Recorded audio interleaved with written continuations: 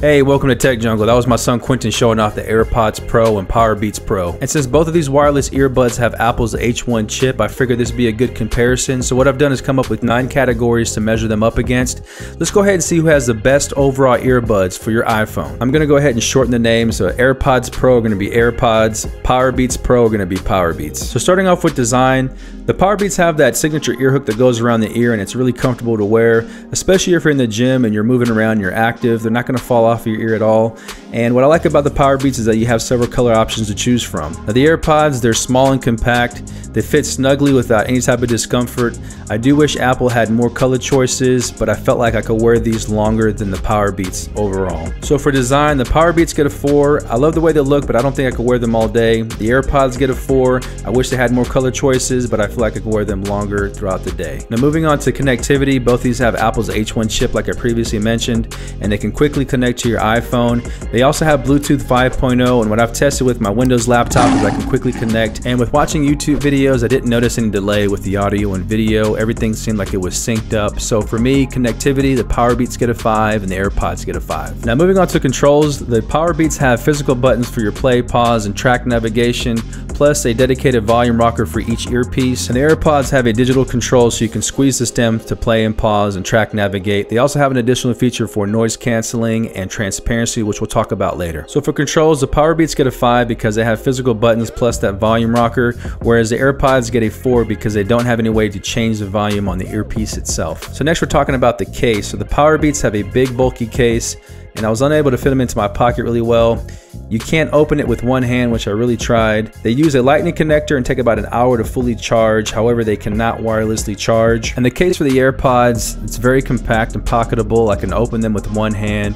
They also use a lightning connector and take about an hour to fully charge, but these do have wireless charging. So for the case, the Powerbeats get a 4, they can't wirelessly charge and they're big and bulky. And the AirPods get a 5 because they're compact and pocketable. I can open it with one hand and they also offer wireless charging. And so next up is mic quality. So the way I had this tested was I had the user stand on the line while I switched between the Powerbeats and the AirPods. And according to them, they said the call quality between both earpieces was the same.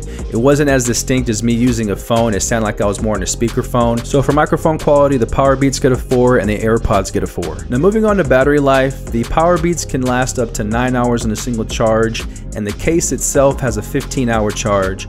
The AirPods can last up to 4.5 hours in a single charge and the case itself has a 24 hour charge.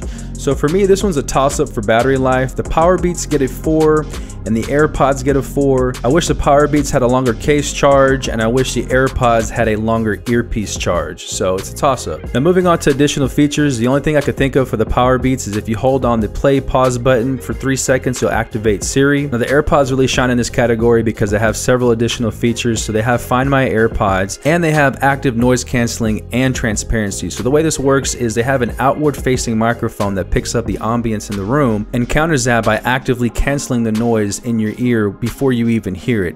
And the way the transparency works is that same microphone then picks up that information and boosts the signal in your ear so now you're hearing more of the outside environment with a little bit more clarity. And in my testing, the active noise canceling feature did a pretty good job at eliminating the mids and highs from the outside environment while the transparency boosted the mids and highs. But overall, I could probably use this feature for about an hour or so without experiencing any type of ear fatigue. Any more than that and I probably would.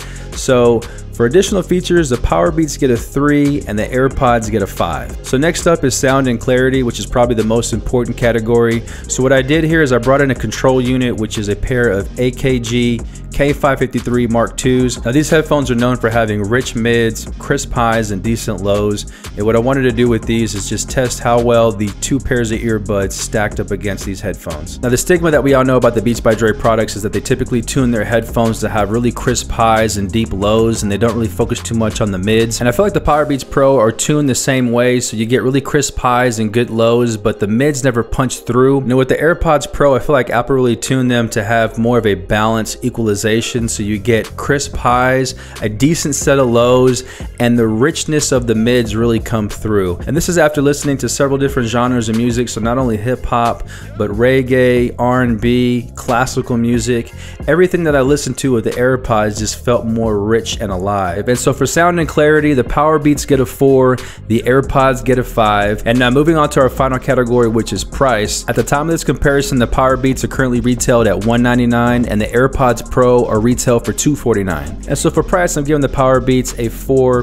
They have come down $50 from their original price, and I think that's a good deal. And for the AirPods Pro, I'm also giving them a 4. I think they're marked relatively comparable with other active noise canceling earphones. And so for the last category of this comparison, both are tied. And now adding all the numbers together, the Powerbeats Pro get a total of 37, and the AirPods Pro get a total of 40, making the AirPods Pro the current overall best value to get at this particular time in my opinion. And so conclusion, the Powerbeats Pro are a great affordable alternative to those wanting a great sounding set of earbuds. They have several color options, they have great all day battery life, crisp highs and deep lows. And with the AirPods Pro, you are getting Apple's best AirPods yet. Grant they come at a steep cost, but they fit really well in the ear with the new design. They have the noise canceling and transparency features. They have really good, rich highs, mids, and lows. And now we're just waiting for Apple to start coming out with more color options to make this more of an attractive buy. And so there you have it. That's my comparison of the Powerbeats Pro and the AirPods Pro. I hope you enjoyed it. If you have any questions, please leave them in the comments below. Also, let me know if you're gonna be picking up one of these for the holidays, or maybe you're eyeing something completely different like the Samsung Galaxy Buds or Sony earbuds. Just let me know in the comment section below because I'd like to know. Again, this is Tech Jungle. I hope you enjoyed this video. Y'all take care and I'll see you on the next one.